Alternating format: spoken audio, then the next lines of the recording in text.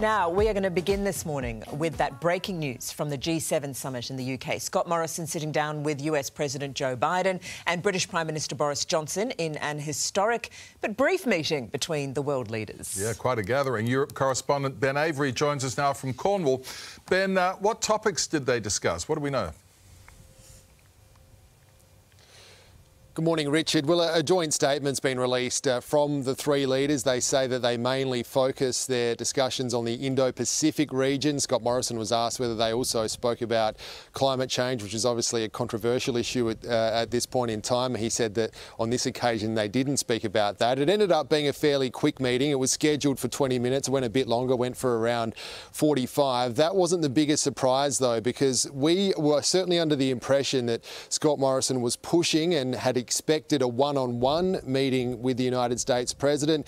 In the end, Boris Johnson, the UK Prime Minister, was also there. It became uh, almost like a surprise trilateral meeting. So uh, that was a, a, little bit strange. We also know that television cameras weren't allowed inside. That's uh, quite different to what we've seen in every other meeting that's uh, happened at the G7 over the last couple of days. But uh, if the Australian Prime Minister was upset about this, he uh, certainly wasn't showing it when he came out and did his press conference a short time later. He said that he uh, appreciated the opportunity to sit down with both of the leaders. It was a meeting of great friends and allies. Um, who, who, share a view on the world. It was, a, it was a great opportunity for my first meeting, of course, with the president. I've been you know, known Boris, Boris for many years, and there was a very there was a very easy understanding amongst the three of us. Now, shortly after that meeting, uh, Scott Morrison walked side by side with Joe Biden down to the group photograph uh, of the G7 leaders as well as uh, the G7 plus leaders, of which Scott Morrison is one. Day two of the G7 is now over. Day three begins with Scott Morrison meeting with the Japanese Prime Minister tomorrow and also the German Chancellor Angela Merkel. Richard? Yeah, thanks, Ben. All right, and we're going to get Nine's political editor Chris Uhlmann's analysis right after the weather. I look forward to hearing that. Over to Sophie, though, for the rest of today's headlines. Thanks, Layla. Residents across Victoria are continuing the clean-up this morning after days of wild weather. In the Gippsland region, workers at the Yallourn power station have been evacuated and electricity reduced. More than 8,600 calls for help have been recorded since the storms hit, and 30,000 homes and businesses remain without power. As we go to air, there are two flood warnings in place, but authorities say the immediate threat has now passed. Let's bring in today Melbourne reporter Melanie Slade, who is at Yallourn for us. Mel, good morning. Has the power supply been secured? Well, Sophie, production here at Yallourn Power Station had to be suspended yesterday, and it's too early to tell when it will be back up and running. Workers were forced to flee yesterday due to heavy rain, flooding, and landslides. Here at Yallourn, uh, they supply about a quarter of the state's energy needs, and much of this area, as you can see, is still underwater. Overnight, flood warnings were downgraded, but two moderate warnings remain in place. Also, overnight, a small number of crew members were able to return to the site here to assess the damage. The operators say production will resume when it is safe to do so. Extreme weather wreaked havoc right across the state this week. Sadly, two lives were lost. Many houses have been inundated. Businesses have also been impacted. In fact, in the next hour or so, the acting premier will take to the skies in a chopper to assess the damage and look at what assistance and support could be required. And while here in Victoria, especially here in Gippsland, it is a tough day to be a cow. As we were setting up, we saw a bird with a really large wingspan in the skies, and it seems a pelican popped in to have a splash. Wow, long way of course, Mel, thank you. Well, Victorians are being urged to increase testing numbers if they want to see more restrictions eased ahead of the school holidays. The state's COVID-19 commander believes they are still there are still cases going undetected and that 20,000 tests are needed daily to flush the virus out of the community. We are expecting the latest COVID numbers in the next hour. Rescue crews will this morning recover the body of a man who died while bushwalking in the Blue Mountains west of Sydney. The 60 year old was walking with a group near Wentworth Falls yesterday afternoon when he fell. It's believed he, uh, he suffered a fall whilst, whilst walking. Uh, they were scrambling up a, a, rock shelf. Um, and there's also a suggestion that he has um, been hit in the head by a rock during that fall. A large rescue mission was launched, but sadly the man couldn't be saved. Police and fire investigators are this morning combing through the charred remains of a home northwest of Brisbane after it went up in flames, leaving a woman dead and two people unaccounted for. It's understood there were several people living in the house at Kilcoy when it caught alight yesterday afternoon. The cause of the blaze is unknown. The Australian Federal Police have seized luxury cars, Rolex, cash and guns after a further 64 arrests were made in Operation Ironside. One of the people arrested includes an airport worker who is accused of being the trusted insider for a global drug ring. Legislation will be coming into the Senate on Tuesday to prevent criminals from working at our ports. A Danish footballer is in a stable condition after collapsing on the field during a clash with Finland in the European Football Championship. Christian Eriksen had to be given CPR by medics on the field as his teammates, some in tears, watched.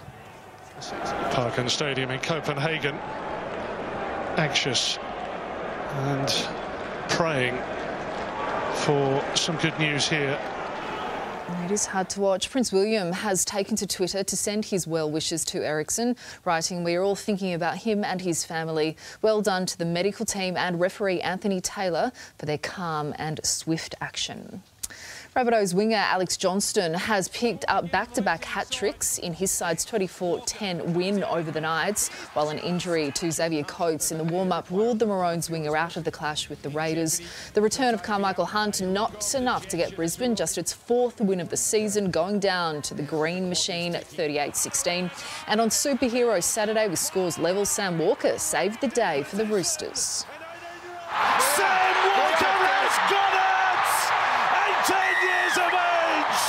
The Roosters surviving a stunning fight back from the Titans, 35 34. Layla's very, very happy. St Kilda has blown a 36-point first-term lead to go down to Adelaide by six points in Cairns. The comeback Crows kicked the last six majors and needed something special to break through, trailing by one with two minutes to go. Riley Thilthorpe delivered, somehow managing to kick the ball directly over his head for a goal that would put the Crows in front and guide them to a win we knew at some stage he'd get an opportunity and uh, to knock it over his head and, and, bounce it through from where he did. Um, yeah, it was, a, it was a great result.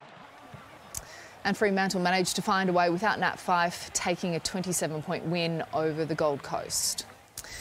Mack Horton has failed to qualify for the Tokyo Olympic Games and won't be able to defend his gold medal in the men's 400 metre freestyle. A lightning fast race. Horton finished third behind Elijah Winnington and Jack McLaughlin. The top five all under the Olympic qualifying time, but only two Aussies can travel to Tokyo. Macarthur FC has upset Central Coast in the opening A-League elimination final and they did it with just 10 men. James Meredith was sent off in the 75th minute.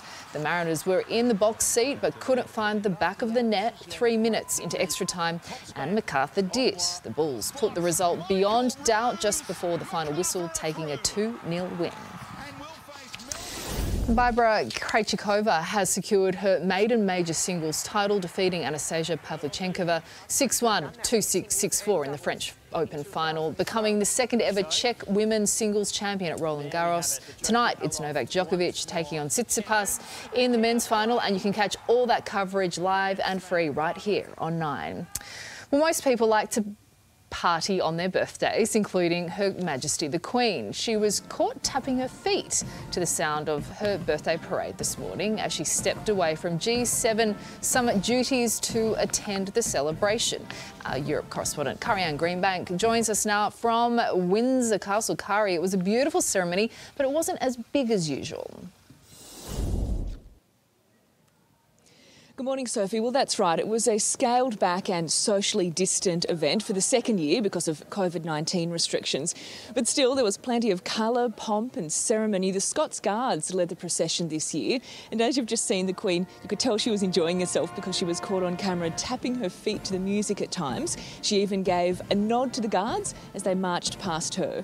Trooping the colour is a British tradition that's run for more than 260 years.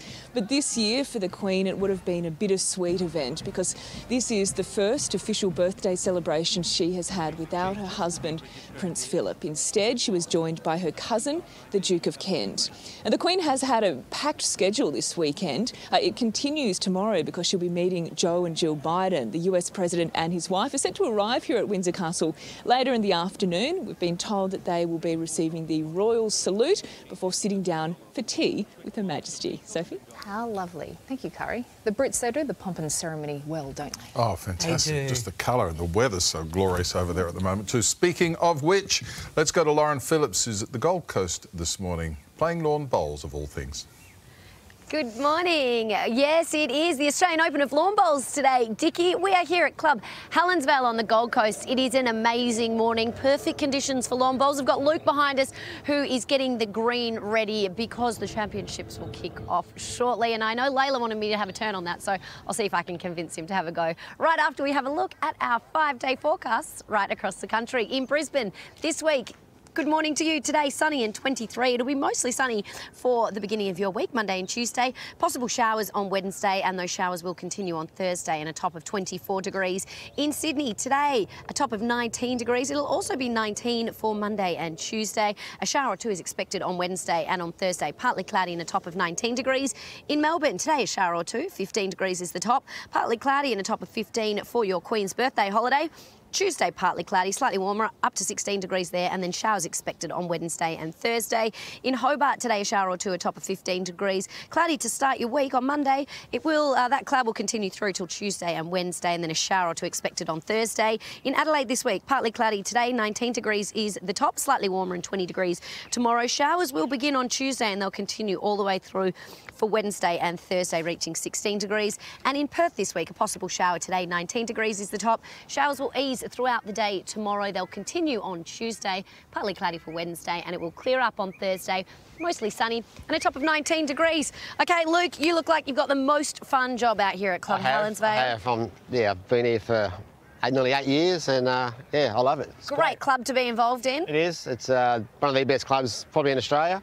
All right. Well, Layla's asked me if I can get the green prepared. I've got to say. I'm a bit nervous because it's a big day today, the Australian Open of Lawn Bowls. I don't want to muck up the green, but you're trusting me. I trust you. All fully. right, You all right. Let's see how I go. mistake. I know the volunteers over there were, were sort of teasing me before ribbing me on, thinking that I'm going to muck this up. So let's see how I go, Layla. I'll see you a little. Oh no. Oh yeah, here we go. I'll see. yeah. Oh, it's quite fun. See you a little later. How am I going, guys? Oh, great. I'm not quite sure I know how to Great. stop. Oh, hey, no. Mexican wave from the volunteers. I'm coming back. Woo! Oh, the greens never looked better. Oh, that's take out my cameraman fantastic. Oh, you probably should have worked out how to stop before she started. Now, our Prime Minister has spent the morning bonding with one of our key allies, well, two really. So, what happened during Scott Morrison's 20 minute express meeting with US President Joe Biden? Nine political editor Chris Uhlmann joins me now for his analysis. Um, thanks for coming on, Chris. Uh, escalating instability in the Indo Pacific region. Is that code for China flexing? Yeah, Layla, everything in this meeting is code for China. In fact, it's one of the reasons that President Joe Biden is pushing so hard at this meeting and the meetings that he's had with G7 leaders. All of, all, of it's about what kind of language they're going to use around China, about its aggression in the Indo-Pacific, about its grey warfare, about the way that it treats Australia, among others, with its economic coercion, and of course the forced labour in the Xinjiang province with the Uyghurs there. So this entire meeting is all about China, and of course that's front and centre in the Prime Minister's mind when he had his meeting this morning. But unusually, he met with two leaders, Boris Johnson and Joe Biden. Now, normally they would have been expecting to do that singly, so I'm interested to know what happened there. Yeah, that is interesting. It's got us all curious, isn't it? How much can we depend on these allies should the situation deteriorate further? Uh, that is really a very big question. It's always been a question in our mind. We've got a, an alliance with the United States that stretches back to the dark days of the Second World War. Of course, we have the ANZUS Treaty with the United States. And the United States has been very inconsistent in recent times with Donald Trump. Now, Joe Biden has made it clear that he wants to build the alliances back again. And he's also made it clear that what concerns him most, which is the rise of China and the strategic threat that proposes to the United States in the Indo Pacific, is the same as the threat that Scott Morrison But, uh, but look, in the end, when push comes to shove, uh, an alliance is only tested when the days get very dark indeed. The Prime Minister is trying to make sure he has lots of regional alliances, including with Japan and other nations in this region, and also the UK. And the fact that the UK is going to be sending a warship into the Indo Pacific soon is important for the Prime Minister. Yeah, and Japan has been quite strong lately too, haven't they? I mean, 20 minutes doesn't seem like a long time. I, I know it's stretched to 40, but there's a lot more going on behind the scenes, isn't there? A lot of meetings between officials and the communique of the G7 will be important in the end, but optics matter in these sorts of things too. And the Prime Minister did want to have that one on one meeting with the United States because that's a sign that the US is standing shoulder to shoulder with Australia. Now, the fact that you have a third dance partner in there in the UK is not a bad thing, and they were talking about the things that mattered to Australia. But I'm fascinated to know what happened. Don't forget the Prime Minister was delayed a little bit by the fact that his plane had to be diverted uh, and was a four hour drive away from Cornwall. So maybe that has messed up everyone's schedule. But you would have thought that if it was important to the United States, they would have made sure that they had a shoulder to shoulder meeting with just the Australian Prime Minister. And so uh, something's gone on behind the scenes. We wait with bated breath to find out what. Yeah, and international diplomacy was really sort of thrown to the winds because of Donald Trump, wasn't it? And this is a chance to sort of see how much we've gone back to before Trump, I guess, with Joe Biden on the scene. Well, Joe Biden keeps saying America is back across all fronts and working what they call multilateral forums, which is with uh, many nations together. The US, former US President Donald Trump had no time at all for that, had no truck at all, really, with many of the bilateral relationships, kept complaining about the fact that he thought that America was carrying the rest of the world, and particularly the Europeans, who, as far as he is concerned, never dug as deep as they, poss- as they should have to, for NATO. So, a lot of concerns in the world at the moment, but the major concern of these democracies is that we are are seeing a fading of the Western powers, of liberal democracies, and the rise of autocracies in China and Russia. And that's really what this G7 is all about in the end. It's whether or not these Western democracies can get their act together, can speak with one voice, and can help to shape the 21st century. Because if we don't do it, Layla, then China and Russia will. Yeah, it's important to show strength and uh, the fact that everybody is united, isn't it? OK, Chris Uhlmann, really enjoyed chatting about that. Thank you very much. And let's head over to Richard.